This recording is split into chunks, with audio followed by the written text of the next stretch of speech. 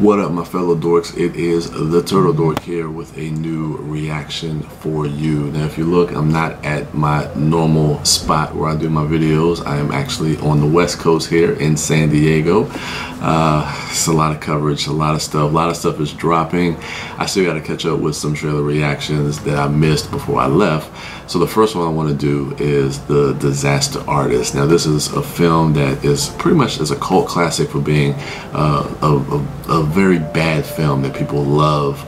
Um, it's I think it's Greg Sestero, and this film is about the making of that film, starring James Franco. I think James Franco actually directed this movie, and I think they premiered it at Cannes or one of those big festivals, and uh, it got rave reviews. I know Seth Rogen is in this, and this trailer dropped a couple of days ago, but I definitely wanted to take a look at it. I haven't watched it yet, and want to uh, check it out and give you my initial thoughts. So let's go ahead and check this one out.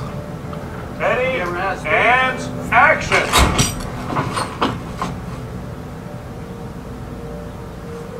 What line? What is line?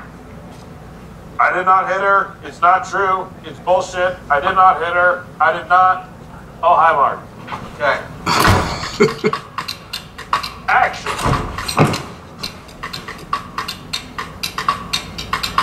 What is line? Take 13. Action. I did not hit her. I. Okay, okay. Line. Wow. I did not hit her. It's not true. It's bullshit. I did not hit her. I did not. Oh, hi, Mark. Take 67. Action. I hit her. No. You want to change the You're line? doing great, man. We'll get there. Action. Action. Action. You have to Action. say out loud. I can't hear it in here. Say action so I can hear her. Okay. Action.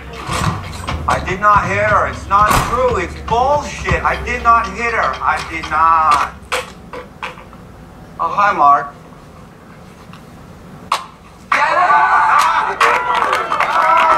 Wow. that wow, okay. So yeah, that's that's interesting to see that scene kind of played out um, you know, as a film, you know, like I said, a lot of people have seen this movie and that's probably one of the most uh, famous scenes and lines uh, from The Room. Now I have to, I do have to admit, I don't believe I've seen The Room, and I'm not the type of person to really go and watch uh, bad movies just to kind of enjoy. Like I don't really get joy out of just watching a bad film, but I know this movie is infamously uh, bad for so many reasons of why people love to watch it. And I think there's a reason why James Franco and Seth Rogen and everybody is so uh, enamored with this story because I think they feel like there's there's something kind of there's something there uh, behind. It's not just a bad movie just because it's made poorly, but there's a reason why people got attached to it, why people kind of latched onto it, and uh, I think they're trying to tap into that in this film. And I think it's going to be something. It should be something kind of interesting. I know a lot of people are really, really looking forward to it. So. Um, yeah, I mean that. I thought that was actually really, really good. And James Franco looks just like that dude. so um, yeah, it's, it's it's cool just to kind of see them go take after take after take, and you see the passage of time of how many times they had to go through that for him to finally nail it. so uh, yeah, those are my initial thoughts for the Disaster Artist. I believe this film hits theaters in December. So go ahead and let me know what you thought of the trailer in the comments below. Go ahead, rate, like, subscribe, and share. And go ahead and check out uh, our other dorks at Mouth Dork, at The Disco Dork, and at Sidewalk Siren.